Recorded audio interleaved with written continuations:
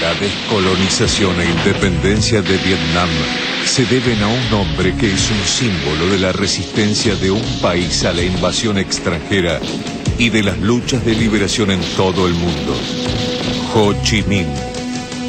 Se dedicó desde muy joven a la actividad política y residió en París, donde integró el grupo fundador del Partido Comunista Francés.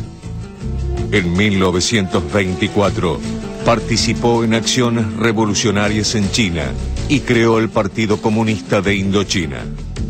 En 1941 organizó el Viet Minh, el movimiento que luchó contra la ocupación japonesa de Vietnam y que tras el fin de la Segunda Guerra Mundial fue la base del gobierno de la República Democrática de Vietnam, con capital en Hanoi. Con Ho Chi Minh como presidente, Hanoi se enfrentó con Francia en la Primera Guerra de Indochina que estalló en 1946 y duró ocho años, hasta que las guerrillas conducidas por el líder vietnamita aplastaron a los franceses en la decisiva batalla de Dien Bien Phu en 1954. Tras los acuerdos de Ginebra, que dividieron el país en dos, Vietnam del Norte se lanzó a construir una sociedad comunista y a lograr la unificación del país. Un proyecto que se encontró con la abierta oposición de Estados Unidos. En 1967, cuando la intervención norteamericana en Vietnam se había convertido en una guerra total, le escribió al presidente estadounidense Lyndon Johnson en respuesta a una carta suya en la que éste le pedía conversaciones de paz bilaterales. Vietnam está situado a miles de millas de Estados Unidos. El pueblo vietnamita jamás les ha hecho daño alguno. Jamás aceptaremos ser dominados por la fuerza ni emprender conversaciones bajo la clara amenaza de las bombas.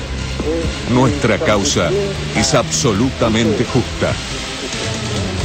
Con la misma determinación, condujo a su pueblo a una victoria que humilló a la máquina militar más poderosa del planeta.